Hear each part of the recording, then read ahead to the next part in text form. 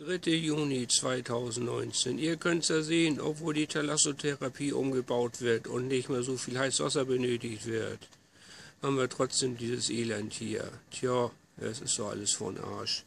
Fieser Brandgeruch, ah, wen stürzt.